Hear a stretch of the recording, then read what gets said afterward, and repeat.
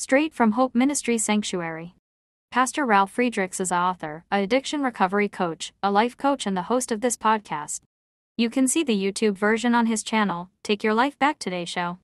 After you've been through all that hell has to throw at you, after you have survived the worst possible assault on your faith and your mind and your sanity, after people have left you, after circumstances have drained you of your human energy, there remains a promise in the Word of God. This is not Peter's prediction, this is God's promise. He said, Never will I leave you and never will I forsake you. The Greek word is umi. They might, but I won't, never. No, never. When will I withdraw my love from you? Never. No, never. When will I change my mind about you? Never. No, never. When will I walk away and give up on the plans I made for your life? Never. No, never. Shout if you have a God who said never. When God says never, he means never.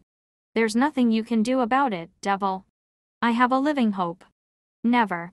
People may change their mind about my potential, but he never will. This is a different level of hope. This is not that plastic hope, that plastic purple hope like these little plastic purple Easter eggs you see. They're bright and pretty, but they're plastic and they're hollow. My hope is built on nothing less. Y'all don't know any hymns. Your mom didn't take you to church. My hope is built on nothing less. My hope is not hollow. My hope is not empty. My hope is not plastic. My hope is not circumstantial. Romans 5 3 says that I hope in the glory of God. That's different than hoping in the praises of men. That's different than hoping in the kindness of life or the peaceability of circumstances. My hope is hard boiled. My hope has been through the fire. My hope has been through hell.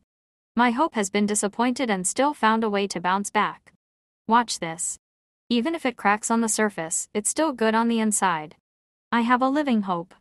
Call Pastor Ralf at 844 405 HELP. Together, you and he can help each other take your lives back. Be good to yourselves and be good to each other. A simple smile to a total can change their life and even change your life. May God bless you.